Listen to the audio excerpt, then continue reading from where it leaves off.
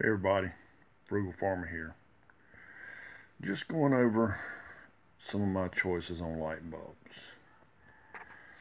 Got the old bulb that was around for as long as I can remember. Then you got the uh, new bulbs. These new bulbs, thank you Lucy.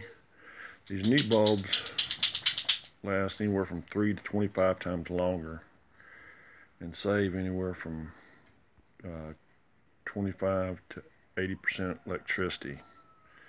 They're a little bit more pricey than these old ones, but um, I know we had one of these old ones in a closet, and it was there. I don't ever remember it being changed, and uh, it finally went out about a year or so ago. So that's the same bulb. It was pretty old, and uh, unless it was changed without my knowledge.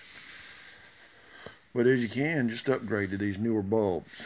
And uh, I've been doing pretty good, uh, as you can tell from previous videos on my energy savings. And the bulbs are in no small part of that. I do keep lights on as needed. And uh, thanks for stopping by. Come back again when you will.